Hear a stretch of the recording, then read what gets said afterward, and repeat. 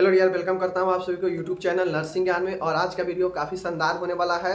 जो भी लोग ये कहते हैं कि क्या कोई समस्या है एमपी में, जिसके कारण फ़र्स्ट ईयर और सेकेंड ईयर का रिज़ल्ट नहीं दे रहा है।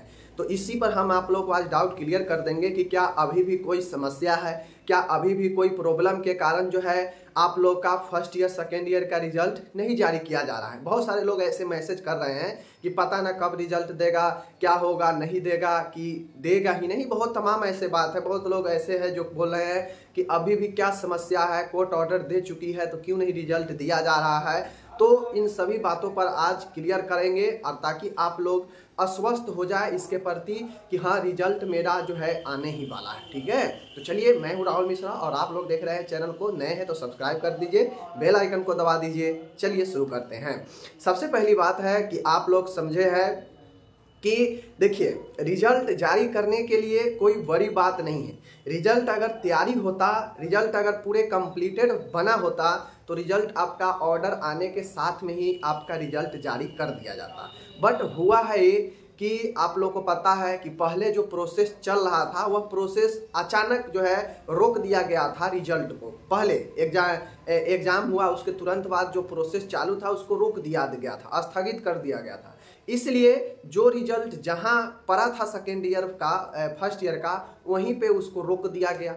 अब हुआ ये कि बहुत लोग जो ऑनलाइन करने वाले थे इंटरनल मार्क डालने वाले थे, वह इंटरनल मार्क अपने अपने कॉलेज के स्टूडेंट के नहीं डाल पाए। जिसके वजह से हुआ ये कि बहुत सारे स्टूडेंट जो है, ऐसे ही रह गए, बहुत सारे कॉलेज जो है ऑनलाइन नहीं कर पाए। जिसके कारण हुआ ये कि फिर से समय देना पड़ा है लिंक प्रदान करना पड़ा है इंटरनल मार्क डालने के लिए। तो अब वो इंटरनल मार्क डला जा चुका है। सात फरवरी तक डेट था। फिर भी बहुत समय एक्स्ट्रा हो गया पंद्रह दिन। लेकिन आपको एक बात समझना चाहिए, मैं बार बार एक ही बात कहता हूँ कि यह एक टेक्निकल प्रोसेस है। ये सब इंटरनल टेक्निकल प्रोसेस है। और इन समय कुछ समय लगता है। ऐसा नहीं है कि दाल भात बनाए, सब्ज़ी बनाए और सीधा जो है थोड़ा देर में जब मन तब खा लीजिए। ऐसा नहीं होता है। रिज़ल्ट वहाँ पे सारा चीज़ कंप्लीट है। बस प्रोसेस है, इंटरनल प्रोसेस चालू है। इंटरनल प्रोसेस कहने का मतलब है कि सभी का रिज़ल्ट सिस्टमेटिक किया जा रहा है। अब मान गए, हरवरी में काम होगा तो जैसे देखिए रहे कि थर्ड ईयर का हरवरी में रिज़ल्ट जारी किया गया, बहुत सारे स्टूडेंट का रिज़ल्ट नहीं दिखाया। ए एन वालों का बहुत सारे का रिज़ल्ट जो है नहीं दिखाया गया। तो फिर से रिज़ल्ट दिया गया। तो ऐसे और टेंशन बढ़ता है स्टूडेंट में कि मेरा रिज़ल्ट ना दिखा रहा, मेरा नहीं दिखा रहा। तो इस कारण से रिज़ल्ट कंप्लीटेड हो रहा है प्रोसेस में है रिज़ल्ट तैयारी हो रहा है। और जैसे ही रिज़ल्ट कंप्लीट हो जाएगा, एक दिन भी एक्स्ट्रा समय आप लोग का नहीं लिया जाएगा। तो ये दिमाग में बैठाइए कि आज हो गया आपका कितने? 22 फरवरी हो गए, ठीक है? 22 फरवरी है तो ध्यान में रखिए कि आपके लास्ट तक, इस फरवरी के लास्ट तक उम्मीद है रिज़ल्ट आने का। या फिर रिज़ल्ट फरवरी के लास्ट में नहीं आएगा तो मार्च के एक दो तारीख, तीन तारीख तक मतलब फ़र्स्ट वीक तक आपके 100 परसेंट आ जाएगा। लेकिन ज़्यादा उम्मीद रखिए कि फरवरी के लास्ट तक ही एग्ज़ाम आ जाएगा रिज़ल्ट आ जाएगा।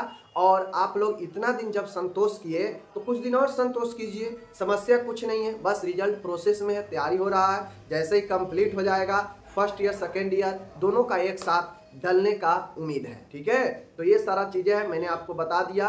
अब आपके मन में फिर भी कोई सवाल रहता है कि कब आएगा कब आएगा कब आएगा तो ये फालतू का सवाल है। क्योंकि जब 10 महीना आप लोग वेट कर सकते हैं तो नहीं। और कुछ दिन और वेट कर लीजिएगा तो क्या दिक्कत जाता है? जब इतना दिन तो लेट हो ही गया तो दस दिन और लेट हो, दस दिन और वेट कीजिए अपने माइंड को, दस दिन और मान कर चलिए कि हाँ दस दिन में आएगा।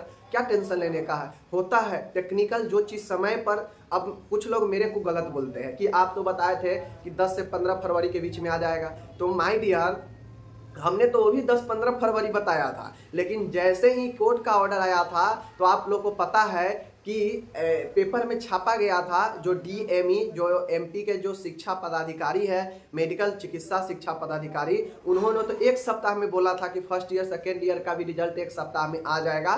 थर्ड ईयर जीएनएम और एएनएम के रिज़ल्ट डलने के बाद। जब एएनएम और जीएनएम थर्ड ईयर का रिज़ल्ट डल गया तो उनके तरफ़ से स्टेटमेंट है पेपर में कि एक सप्ताह में आ जाएगा। एक सप्ताह छोड़िए, तीसरा सप्ताह चल रहा है। कहाँ आया रिज़ल्ट तो वो जब शिक्षा चिकित्सा पदाधिकारी होके जो पूरे एमपी के चिकित्सा क्षेत्र के शिक्षा को देखते हैं, उनको एग्जैक्टली नहीं पता है तो फिर हम तो वहाँ का कोई अंश नहीं है। फिर हम तो उस कार्यालय या एम पी का कोई भाग नहीं है। तो फिर मेरे को एग्जैक्टली कैसे पता हो जाएगा? लेकिन मैं एक ये देख के बताता हूँ कि हाँ कब तक आ सकता है। मैंने देखा कि सात तक तो ऑनलाइन ही होने वाला है।